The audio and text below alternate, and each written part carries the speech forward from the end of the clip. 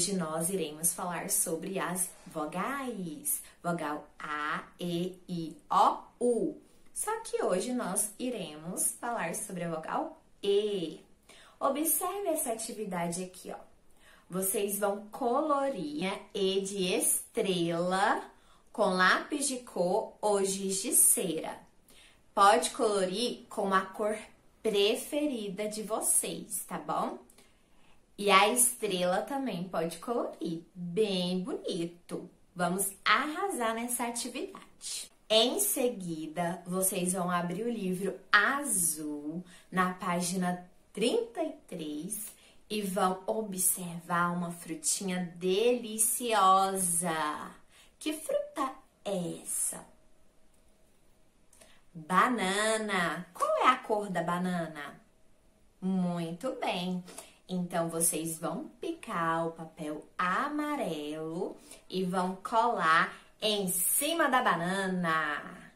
Quem gosta de banana? Eu. Não é só a Ana que gosta de banana. Eu também gosto de banana. Banana é uma delícia, é docinha. Hoje eu trouxe a história das frutas. Vamos escutar? A menina que não gostava de fruta. Era uma vez um morango bem doce e bem vermelhinho, que resolveu viajar e sair do seu cantinho. Estava já um dia à espera de ser comido. Sabia que era de muitos meninos o preferido.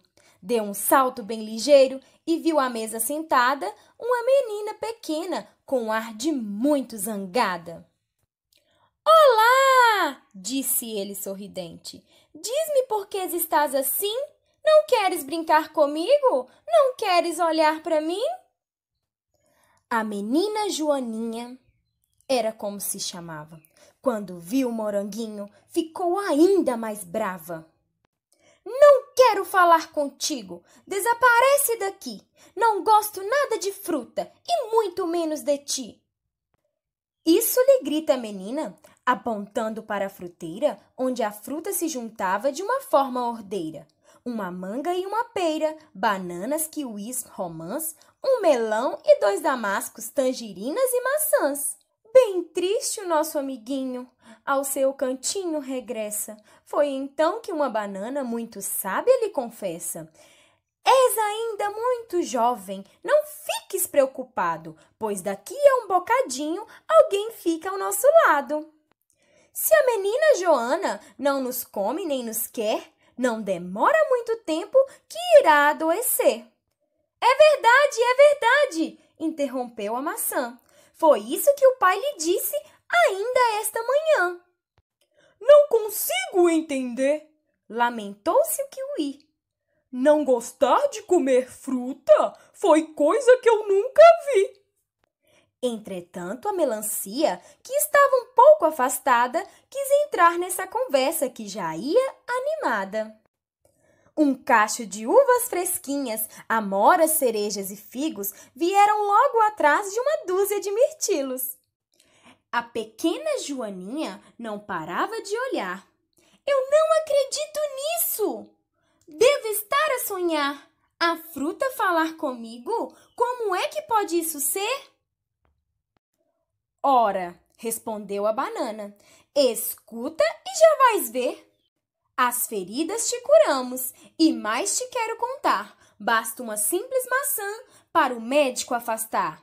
Por exemplo, as laranjas a crescer te ajudarão. O alperce e a papaya são ótimas para a visão. Se queres ficar hidratada, come muita melancia. E para seres bem saudável, bastam três frutas por dia. Eis que um verde abacate interrompe calmamente. Tens nozes e avelãs que desenvolvem a mente. As amêndoas e as passas dão-te também energia. Come sempre frutas secas e correrás todo dia. Estamos ainda nos sumos, que frescos podes beber. Nas compotas e nos bolos, só precisas de escolher. Somos muitos, como vês, e saúde te oferecemos. O que tens é de ingerir as vitaminas que temos. A menina já sorria com tanta animação, tanta cor, tanta alegria, tanta fruta ali na mão. As cerejas atrevidas corriam-lhe entre os dedos. O moranguinho feliz sussurrava-lhe segredos. Na casca do coco viu uma floresta encantada. Depois de comer pinhões, desatou a gargalhada. Quando a mãe percebeu que era a filha que assim ria, nada conseguiu dizer e pensou que era magia. Afastou-se a sorrir, também a cantarolar, e aquela novidade a correr ao pai foi dar.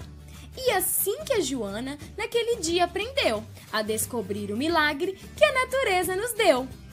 Faz como a Joana e come muita fruta para teres energia e seres saudável.